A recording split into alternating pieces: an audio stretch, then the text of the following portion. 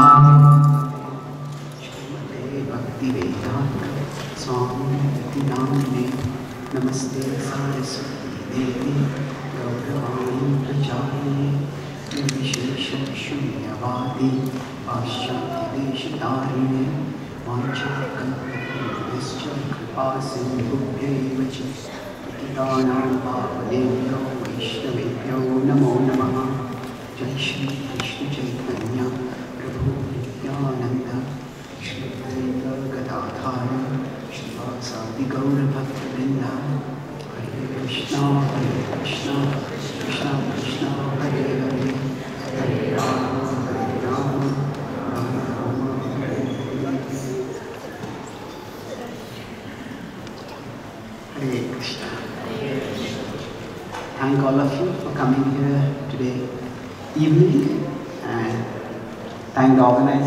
This special format.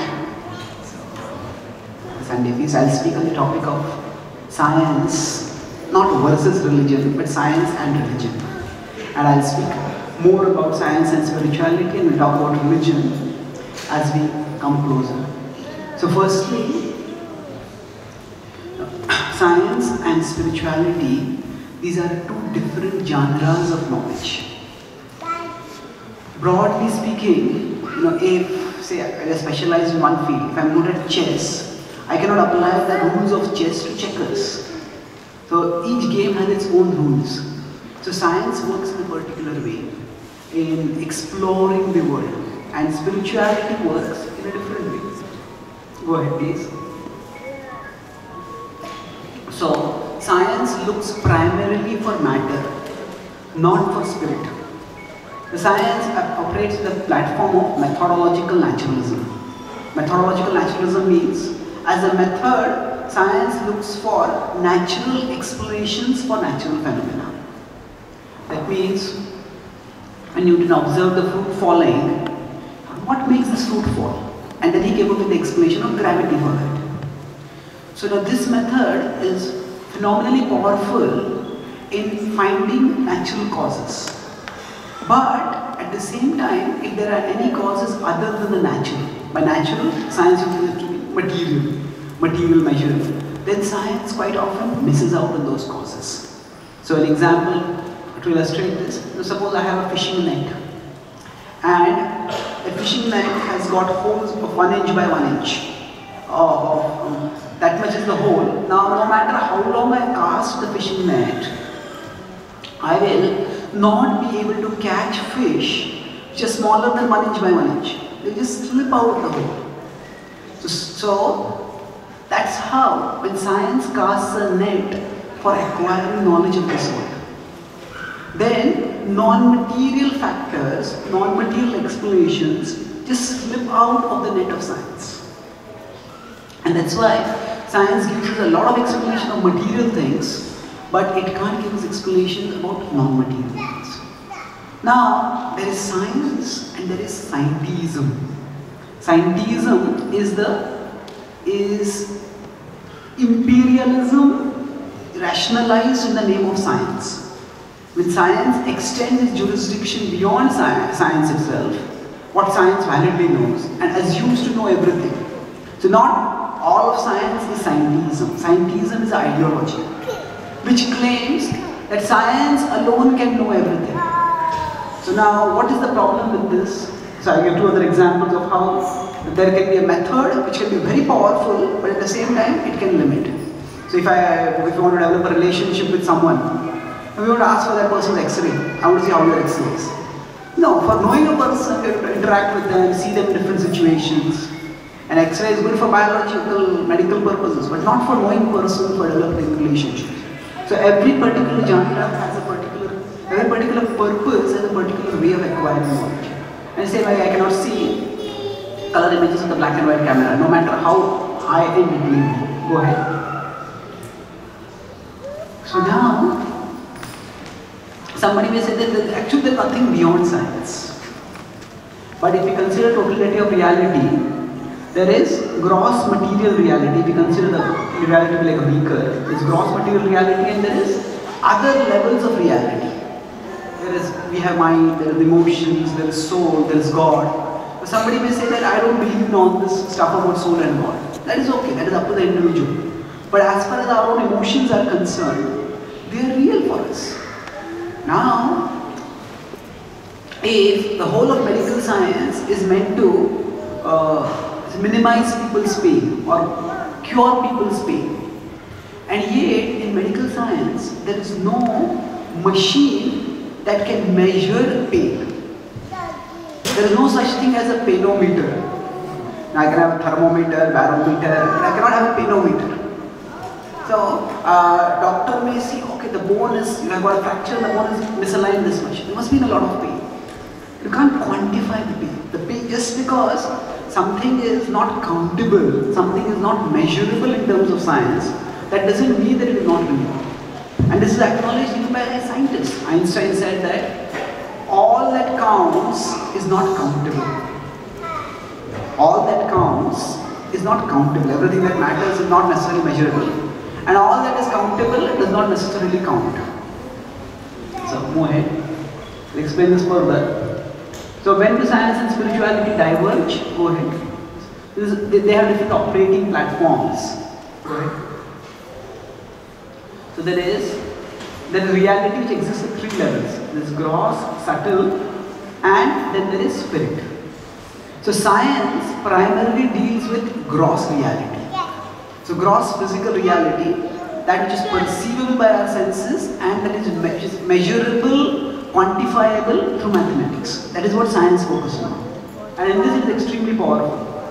But spirituality extends over all of existence. So now when we talk about spirituality, there are two different things which are operating over here. One is that spirituality extends through all of existence, just like there is a. So this, to understand this gross, subtle and spirit, we can compare it to a computer system. In a computer there is the hardware, which is like gross matter, which is like our body. The body is like the hardware, and the mind is like the software. And this person, the user of the computer, that is like the soul. So for a computer to function, the hardware is very important. And if we can improve the hardware, we can function definitely much better. But the hardware is not the whole system. The hardware, software and user, all three are combined together as a system. So when science, when some people, especially some atheists, they, so science is a body for acquiring knowledge. It's a tool. It's like I have spectacles, science is a tool. It's a valuable tool, powerful tool. But it's a tool and it gives us a detailed picture of reality from a particular perspective or a particular aspect of reality, material reality. But when atheists often want to uh, misappropriate the prestige of science to boost their own atheism, then what happens is they say that to be scientific, you cannot believe in God, you cannot believe in soul. You have to, to be scientific, you have to be atheistic. But science actually doesn't talk about ultimate questions. Because one of the definitions of God is God is non-material. And science by definition looks for material explanations for material phenomena. And science does not make any statement about whether non-material things exist or not. They are not relevant to the study of science. So it is so there's two come in conflict when when sometimes science is extrapolated by people with vested interests beyond its jurisdiction. And then certain ideas are brought about which seem to conflict with uh, con con conflict with spirituality. That's one way. Science may extend its jurisdiction beyond its valid. Then one conflict can come. Conversely, when we learn about spirituality, every subject we have textbooks to learn it from. So if I have to learn physics, I cannot go and read New York Times for that. New York Times may be a respected newspaper and may give a reliable source of knowledge, but that is not the knowledge for physics. So for every field, we have its appropriate textbooks. Similarly, spirituality, we learn from time-honored spiritual texts. There are many different traditions in the world, and they have their spiritual texts. So the yoga tradition follows books such as the Bhagavad Gita. And we, we learn from here, we also have to be careful that while learning spiritual knowledge, even spiritual knowledge shouldn't be extended beyond its jurisdiction. Spiritual is never, the spiritual is not the substitute for the material. The spiritual is the complement for the material. That means, we that Krishna spoke the Bhagavad Gita and uh, that enabled Arjuna, enthused Arjuna to fight the war. Arjuna was disheartened, not willing to fight. Now Arjuna thereafter won the war. Now Arjuna won the war not just by the knowledge of the Bhagavad Gita. He won the war by the knowledge of archery which he had learned throughout his life. So what the knowledge of the Bhagavad Gita is gave him proper direction for using that knowledge. So the spiritual does not replace the material. For operating in the material world, there can be different ways of looking at the world. Different frames. So for example, spiritual may describe something about the cosmology of the universe. Science may describe something about the cosmology of the universe. These two are not necessarily contradictory. They are basically different ways of looking at the world. I'll explain this and then I'll stop and we can have question answers.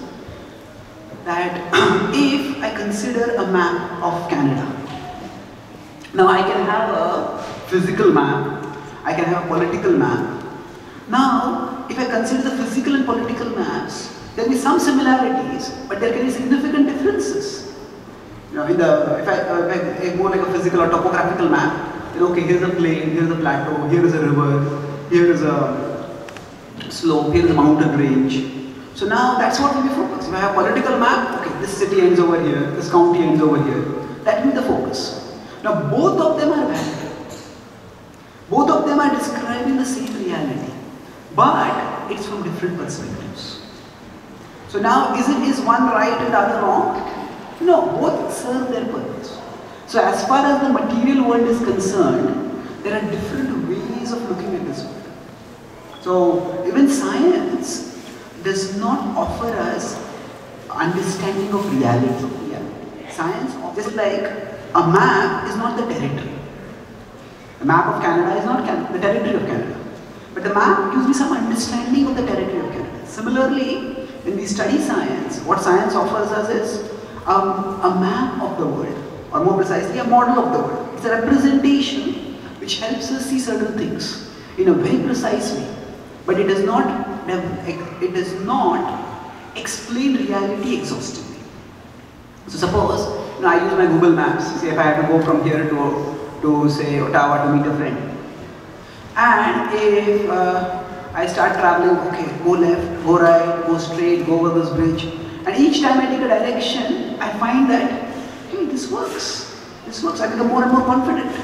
And finally, I reach my friend's house, I knock on the door, and he opens the door. Welcome. Look at me. I can't see you on the map, so you don't exist. If I say that, my friend will say, your brain doesn't exist. Uh, the map is reliable, but I cannot extrapolate it beyond its scope. So within science itself, there are different ways of looking at matter, and the two of them, sometimes they are not even reconcilable. So for example, if I have, if I, if I take say chalk, make it into powder, and I take coal and make it into powder, one will be white powder, other will be black powder. Now if I mix both of them together, I will get grey powder. But if I look at the same within a microscope, I won't see any grey powder. I will say black granules and say white granules. Now what is it really? Is it grey powder or is it white particles and grey particles, white and black particles?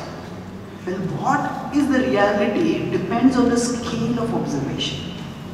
So from different scales of observation, from different frames of reference, things will be seen differently.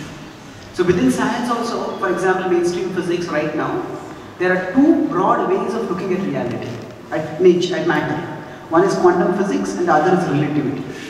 And the two of them are violently contradictory. According to, according to uh, relativity physics, there are things are made of matter and there are particles which exist.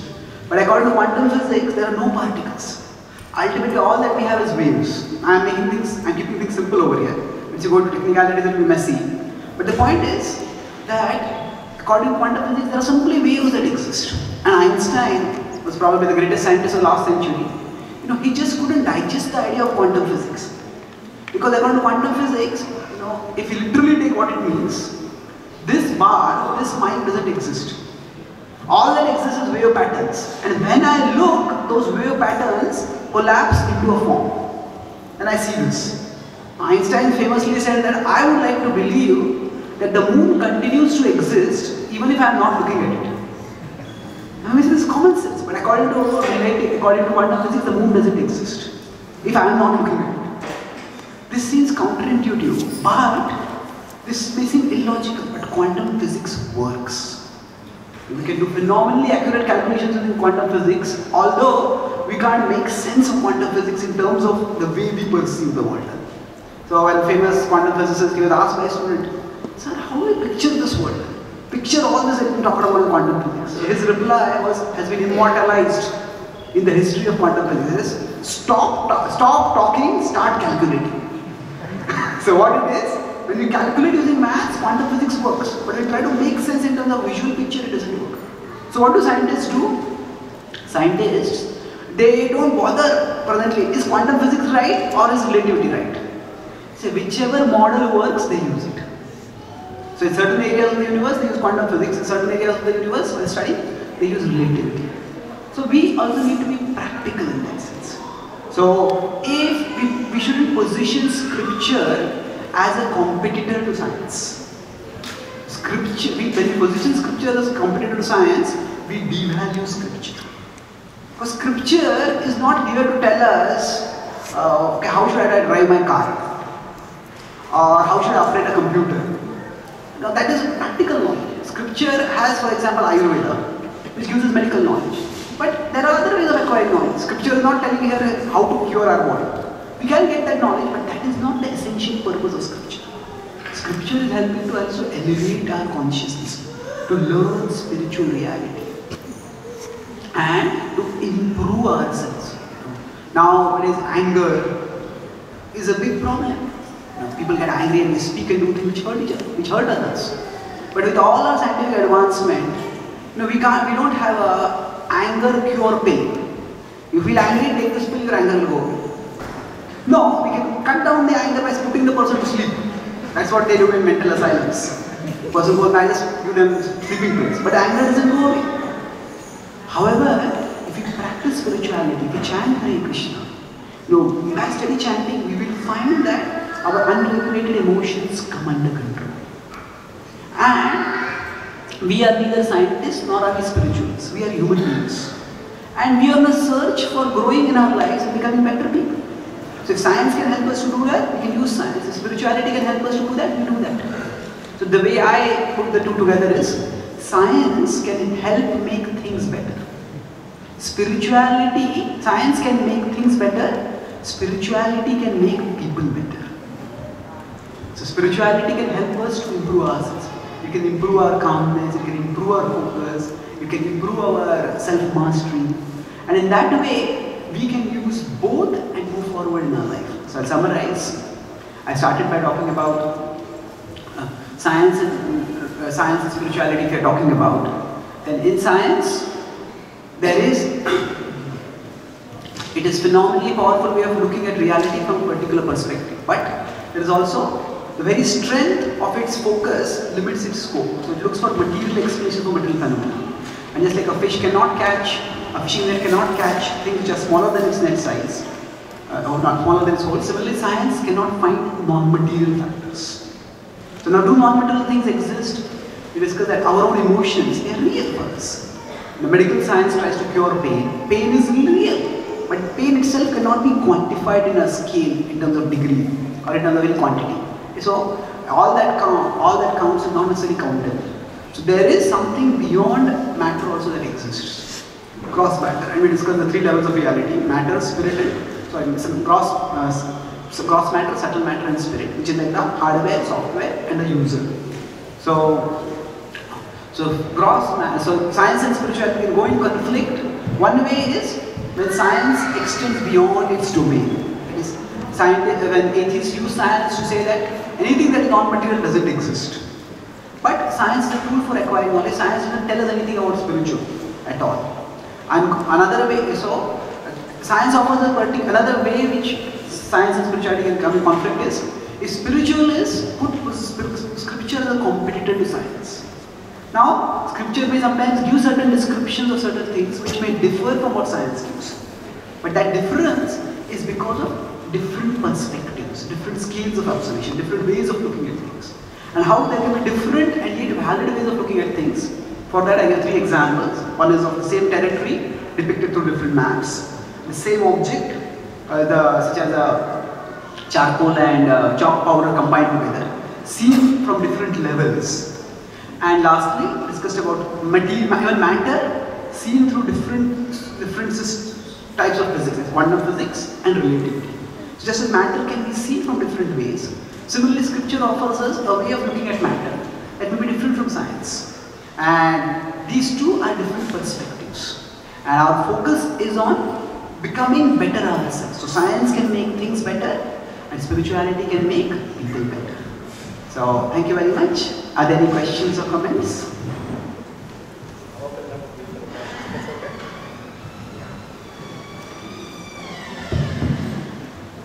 First of all, we can thank Chaitanya Prabhu for giving us some opening thoughts on this very.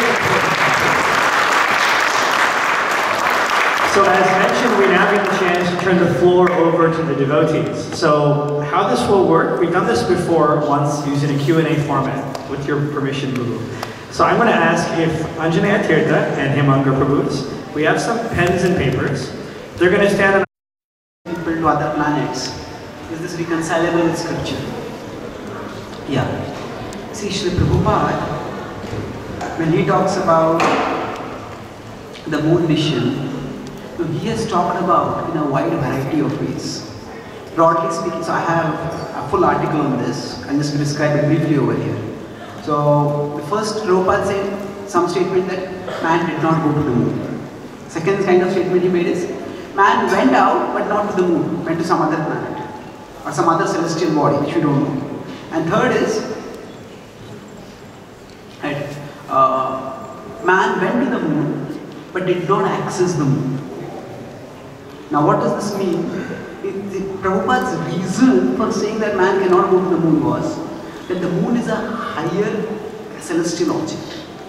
And just as a person cannot gate crash into America or Canada, they have to have the requisite visa. Similarly, we cannot gate crash into the higher.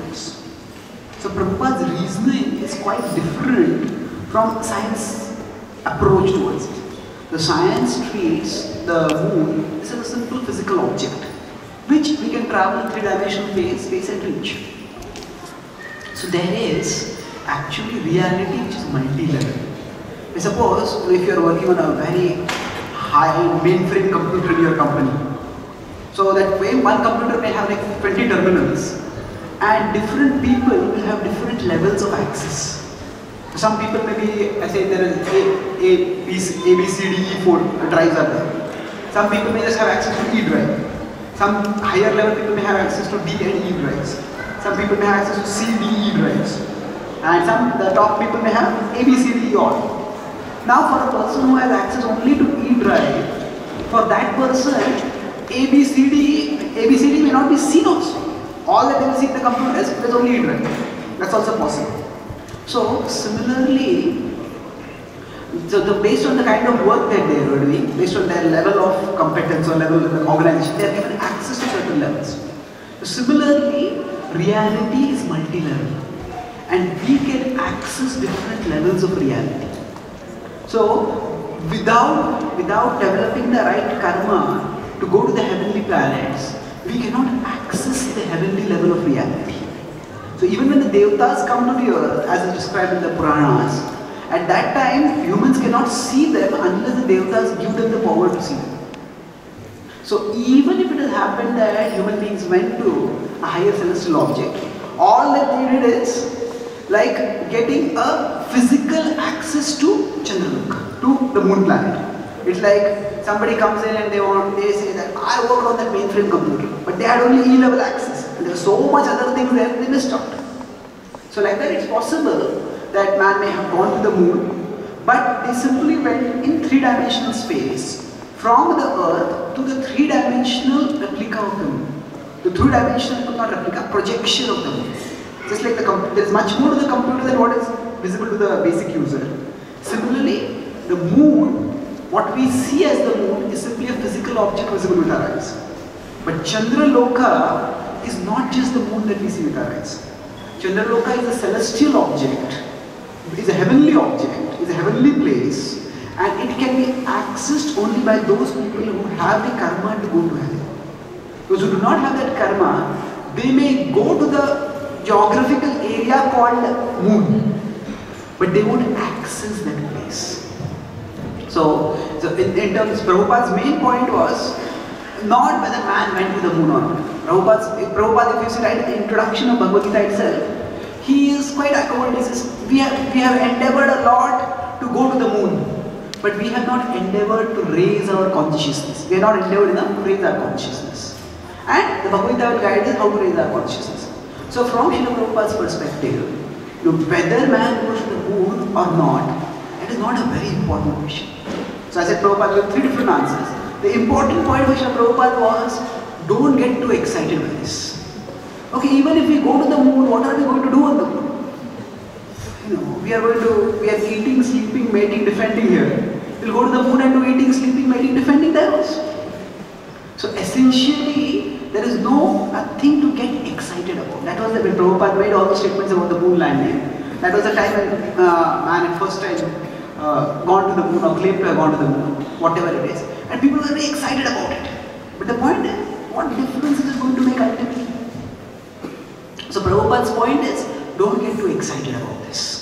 This is not all that important. More important than going to the moon is to raise our consciousness upwards towards the spiritual level of reality. So basically, we don't have to make this a major conflict issue. The important point is even if they have gone to the moon, they simply have gone to the physical projection of the moon in three-dimensional space. But Chandraloka is a higher plane, is also a higher reality that can be accessed only by the requisite karma. That's great. We can maybe appreciate the very nice answer. Okay, devotees have flooded with questions. I have at least uh, several text messages that have come in, along with at least 10 or 11 handwritten ones. So apologies, we're definitely not going to get through all of them, but we'll try our best. This is an interesting question that has come in, written by hand. Someone has said, Hare Krishna Prabhu, as a biology student, I have always had a hard time reconciling science and religion. How does religion explain evolution? I am interested to know your thoughts on this. Thank you. So how does religion explain evolution? See again, evolution is a theory which is based on observing material phenomena. And that matter changes is something which is, is can see by observation and it is talked about in scripture also, Adibhutam Ksharobhava. Matter keeps changing. But there is, there is valid observation and there is invalid extrapolation from that observation. So what this means is, there can be certain mechanisms by which certain things may change in the material world. But those mechanisms don't necessarily explain reality exhaustively. Uh, I'll, give two examples to illustrate this. That suppose somebody plays billiards. When they're playing billiards, somebody somebody hits the ball, one ball hits another ball, uh, another ball, and then the final ball goes into the hole. Now I can explain all of this purely in terms of the laws of physics. Because this ball hit this ball at this angle, with this velocity, with this momentum, and that's how this ball went into the hole. That's a valid, that's a correct explanation. But somebody else may say, oh, you know, this player who hit the ball, this player is an expert player. And it was because of the expertise of the billiards player that the ball went into the hole. So now, this is also correct. These two explanations are not contradictory, they are complementary. The expertise of the player and the, the action of the, and, the laws of physics, both are explanations for why the ball went into the hole. So like that, science may come up with certain material mechanisms based on observing how the world functions. Now the material mechanisms, they explain the interaction of objects. They don't explain the origin of the objects. They don't explain the origin of motion. Now once somebody hits, then okay, by the laws of physics it will go into the hole. Suppose you know, most of us, most of you have played, so it's a cricketer, last ball in the India-Pakistan match. And you know, hit a sixer to win the match. And the batsman just hits powerfully, hits a sixer. Oh, how did you win the match? By the laws of motion. Does it make sense? The laws of motion are true. We could say that the batsman hit the ball with adequate force, that's why the ball went over the boundary. But the laws themselves are not causes. Laws simply describe the interconnectedness between events or interconnectedness between cause and effect. Laws are themselves not causes. So science can explain how events, how things interact with each other. And there can be various theories. I won't go into the specifics of any theory because that becomes a technical subject. I'll stick to principles only. So in principle, scientific investigation and the spiritual understanding, they don't have to be contradictory. Now in some cases, science extends its jurisdiction beyond its valid realm. So for example, especially when we go to origins. No, generally we think if you are opposing science, you know, I can see how my phone works so well. I just click a few buttons and I can talk with anyone in the world. How can you say that science is wrong? How can you say that scientific things are incorrect? You feel like that, but you know, all science is not created equal. So when we look at say the law, the laws of semiconductor effect or laws of physics or laws of electromagnetics by which much of our uh, computer digital world works. But this, for, for this science uses one method and when it goes to origins, it uses an entirely different method. So normally how does science work? It uses inductive reasoning. Newton observed a fruit falling and then afterwards he had, he, okay, this fell, why? Because there's a law, there's some force which attracts particles other. Then he got many other particles to fall and many other people did the same experiment. So here repeatability is possible. Repeatable experiments can be done. And this form of reasoning is called as inductive reasoning. So most of science operates either on deductive reasoning, which is mathematics, or inductive reasoning, which is inference from observed phenomena. So we observe certain phenomena and we infer from that. But when science goes to origins, it cannot do inductive reasoning. Because how the universe came about, Science cannot say, oh, oh universe, please recreate yourself, I want to observe it. So how does science does not use inductive reasoning? It uses another form of reasoning which is called as abductive reasoning. Abductive reasoning means, basically, it is a inference to best explanation. It's an inference to best explanation. Suppose, you know, some crime investigators are there, they have found that the owner of a house has been murdered with a knife in his stomach. Now they have a security camera over there. So our friend went to meet him at 2 o'clock and then at 10 o'clock when somebody went to meet him, he was murdered.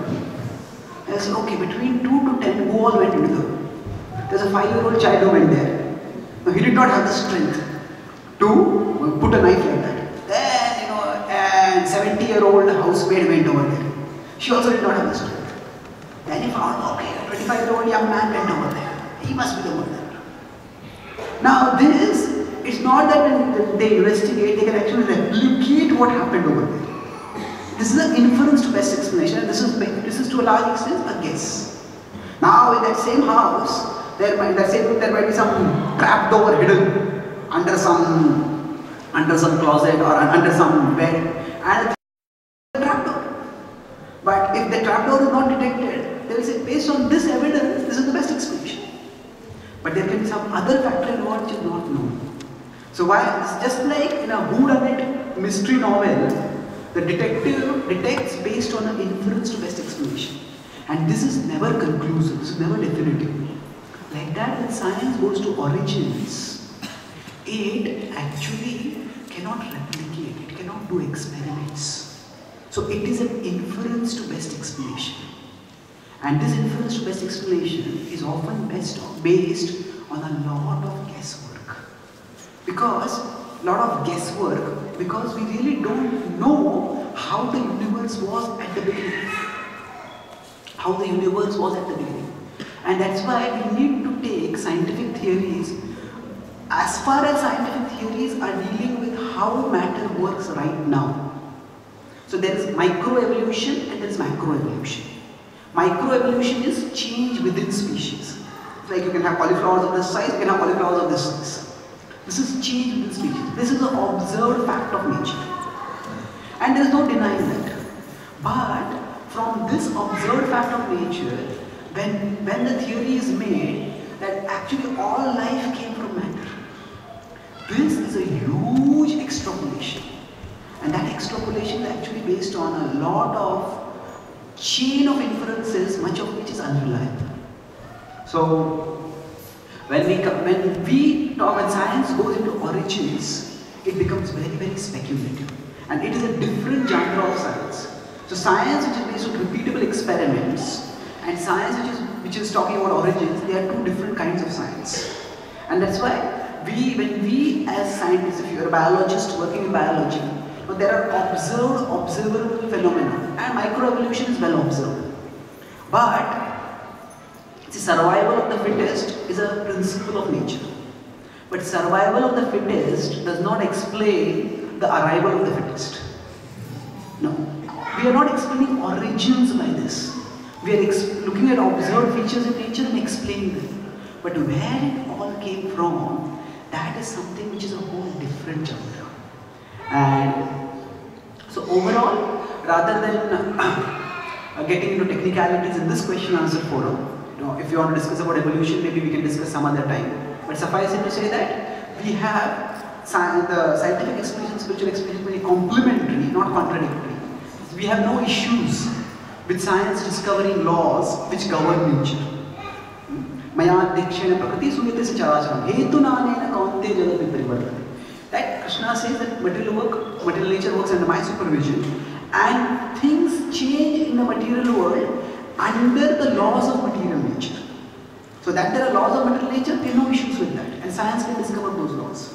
But from the discovery of uh, laws based on observable, repeatable phenomena, when science makes inferences about origins, it's a far less reliable body of knowledge.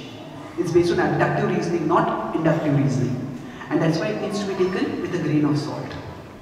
Thank you.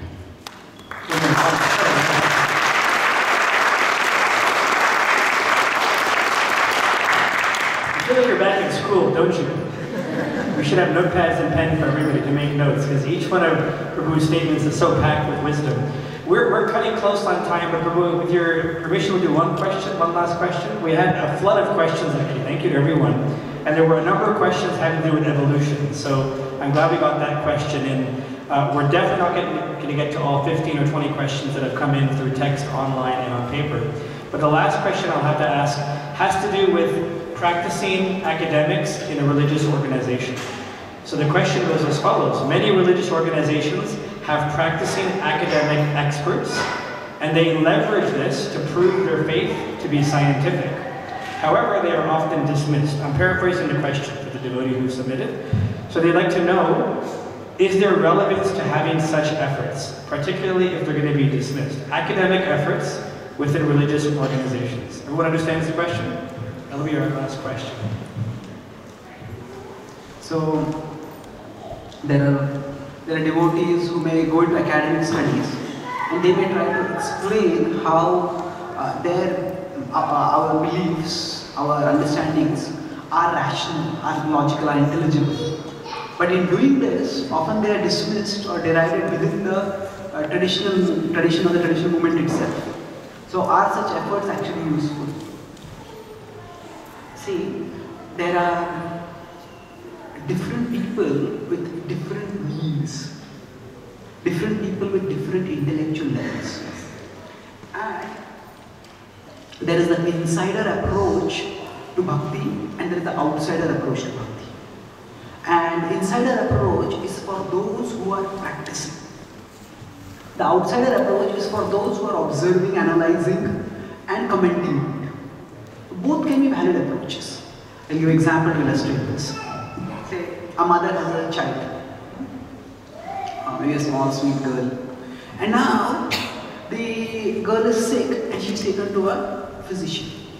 Now the physician does various tests on her. Now when she does, the physician does various tests on her in terms of knowledge of the physical parameters. The physician may know much more than the mother. The physician may know about the blood composition, the platelets count, the various other physical parameters in the body. Now the mother may not know any of this. So the physician knows about the child. The mother knows the child. The physician is approaching the child primarily as a biochemical unit. The mother is approaching the child as a person to be loved. So these are two different ways of looking at it and both have their validity. The mother loves the child, the doctor treats the child in a different way in, in specific situations. So now if the, if the mother sees the child only as you know a count of chemicals, that's not going to work. So what happens with academic study of religion it basically goes into the historical study of religion, the textual study of religion, the sociological study of religion. That means it approaches religion from various ways other than the heart. Religion is ultimately to be experienced within the heart. And that inner experience, which, oh, I get, I got taste in chanting. That is actually, I got taste, I got bhakti rasa, I felt ecstasy. This was actually the success of spirituality. Uh, success of uh, somebody who's an inside practitioner. But from an outsider perspective, uh, they say you have to be detached. Now you should be clinically objective. So these are completely different ways of approaching the same subject. And so, because of this, there can naturally be great conflict. So now, if somebody who is now, some people may say that the insider way of uh, study tradition is by which you can learn, we can relish. Yes, that is true. But everybody is not going to be an insider. So then those are outsiders, they are going to evaluate what, what are you people doing?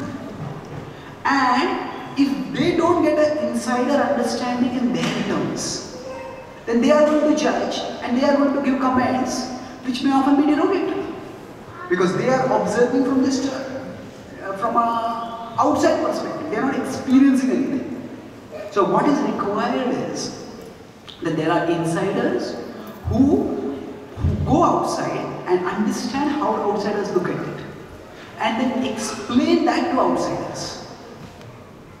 But in this process we have to be careful that we don't because in, in, in the spiritual path when we associate with people who are not having faith, then we also start losing our faith. Now, it is not that the faith cannot withstand intellectual scrutiny, but ultimately, logic is a game. Logic is a game. It's a, it's a tool, you have to be expert. Now, somebody might be a very heroic policeman, and somebody might be a bloodthirsty terrorist. Now, if the bloodthirsty terrorist has a, more sophisticated weapon than the policeman, the thirst terrorist will win. Because there, virtue is not important, the weapon that is there is important. So, like that, if somebody has to go into the academic field, logic, reasoning capacity, it is a weapon. So, there are atheists in the academic study of religion. They use the reasoning capacity. And if their reasoning capacity, their logic, is better than the logic of devotees who are entering into that field. Then devotees can get influenced by that.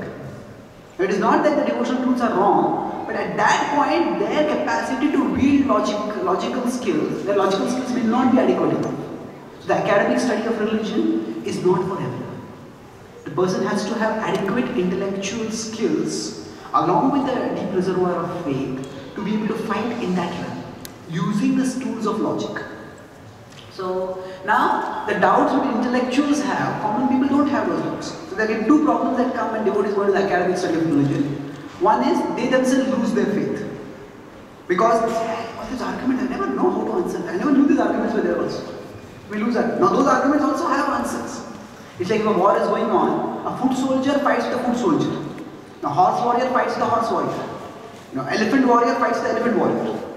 Now, if uh, if this devotee is entering the academics, he's like a foot soldier, and he tries to fight with the elephant warrior, it's just not going to work. But they have to be adequately trained, adequately intellectually equipped. Otherwise, they will lose their faith. Second thing is, that they don't have to bring the doubts of the academia into the insiders. Because insiders don't need to know about these things. If they get those questions, they'll approach the right people and ask them. So now what needs to be done definitely is that those who are trained in this way, if I consider this as the insiders, they are going to understand things uh, by inner experience. But those who are not going to understand by inner experience, we need to explain things to them rationally. In terms of, okay, they may not accept it, it may not be acceptable, they may not practice it, but it should be at least intelligible. No, I don't accept what you're but I understand where you are coming from. So we should be at least at that level. It's not that insiders think, oh, we are the best in the world, and outsiders think you are crazy. It's not like that. Insiders understand I'm practicing a path of spiritual experience, and outsiders also, there will be different levels. Some atheists and skeptics they will reject. But others, okay, you people, what you say makes sense, but I don't want to follow this. So what happens for this explanation, uh, the academic study of religion and academic explanation of the religious experience is important. So this is specialized service and devotees are equipped, if they take up this service, it is a very valuable contribution. But because it is a specialized service, is not something which everyone can do, nor is it something which everyone can appreciate. Because what happens, our presentations should be solving problems that people have, should be answering questions that people have. But now the questions that academics raise, most common people don't have those questions. So if I start answering questions, if I start dealing with issues, answering questions you never had you will feel what is going on, it's not relevant. So our presentations, if we start addressing at a level which is too high, which just doesn't deal with people, then that can alienate people. So those who are practicing this, those who get in the academic field, academic study of religion, you know this is for a special audience. And focus their presentations on that audience. And learn the, get the acquired, get the resources skills for doing that. If they do that, then it can be a very valuable contribution. And to a large extent, many other religions, Christianity, Judaism, especially Buddhism, they have got many expert academic, academic presenters of their religion. Unfortunately, we don't have that much. And it is a very valuable service if devotees can take it up. But it has to be done with a lot of caution and with acquiring the necessary skills under the guidance of those who are our well-wishers and those who know us well. Thank you very much. Hare Krishna.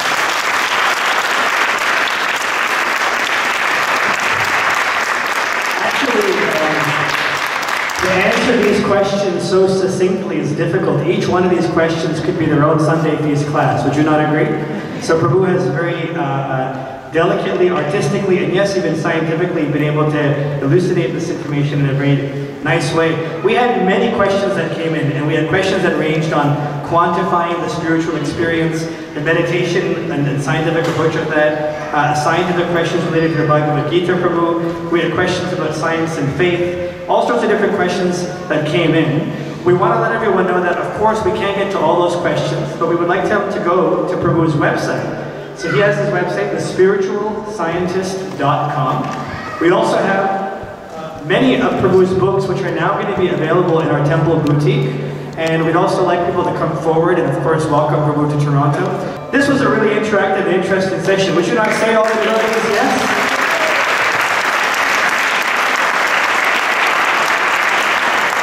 The very fact that we've had so many questions pouring in the papers, I had many online and many text messages, It means that we should try this again. But to do it again, we need to welcome Chaitanya Charan back to Toronto. Would you like to see him back in his